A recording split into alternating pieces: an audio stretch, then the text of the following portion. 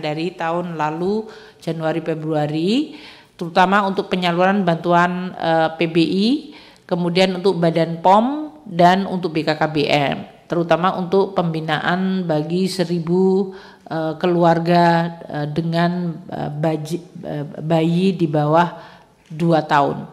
Ini terutama untuk stunting. Kemudian belanja kesehatan Rumah Sakit TNI Polri mencapai 931 miliar. Belanja non KL jaminan kesehatan ASN TNI Polri 1,9 triliun dan transfer ke daerah untuk DAU Irma Kesehatan dalam hal ini untuk biaya operasi kesehatan Puskesmas, Posyandu dan BKKBN itu mencapai uh, eh, 3 triliun rupiah.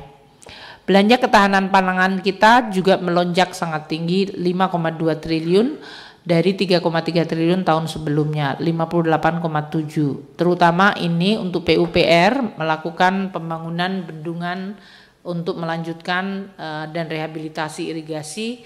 Kementerian Pertanian 53 530 eh, miliar untuk perlindungan tanaman pangan, KKP 470 miliar dan Bapanas yang mencapai 390 miliar untuk ketersediaan stabilisasi pasokan harga pangan transfer kita 2 triliun eh, terutama untuk dana desa yang eh, berorientasi pada pertanian dan perkebunan. Anggaran bansos kita melonjak tajam eh, dari 9,6 triliun tahun lalu ke 22,5 triliun atau naik 135,1 triliun eh persen dibandingkan tahun sebelumnya.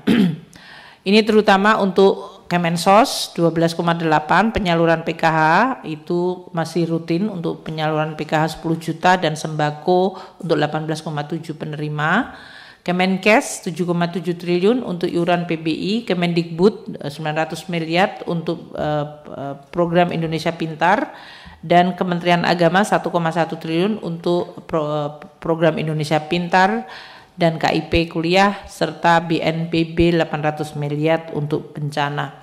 Kalau kita lihat bantuan beras e, dibandingkan tiga tahun berturut-turut tahun 2022 itu 290 ribu triliun eh ton untuk Januari Februari untuk 2023 terjadi kenaikan yang sangat tajam e, e, bantuan beras untuk 21,4 juta kelompok penerima selama tujuh bulan.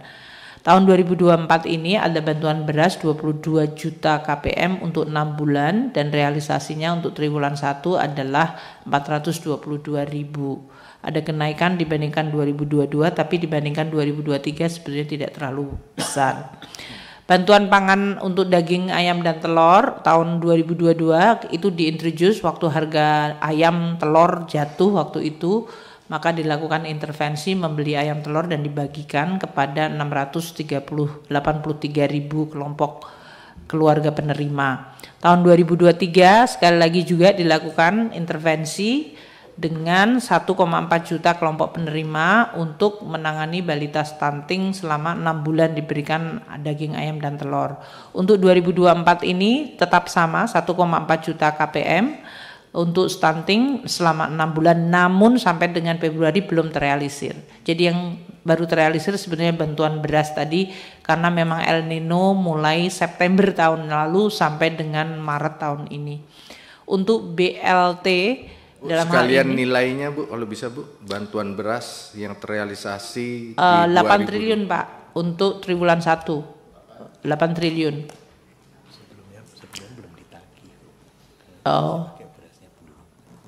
Oh, Pak Isa mengatakan kalau sebelumnya belum ditagih karena masih menggunakan uh, beras bulog. Jadi biasanya nanti sesudah diaudit kita mendapatkan tagihan. Tapi untuk uh, bantuan beras ini anggaran 6 bulan itu 8 plus 8 jadi 16, Pak.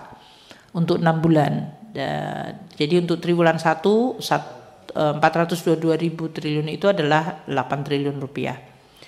Untuk BLT, eh, BLT Migor dan BLT BBM itu kita introduce 2022. Waktu itu karena terjadi kenaikan harga minyak goreng dan kenaikan BBM sehingga kita memperluas 20,7 juta, hampir sama dengan penerima sembako.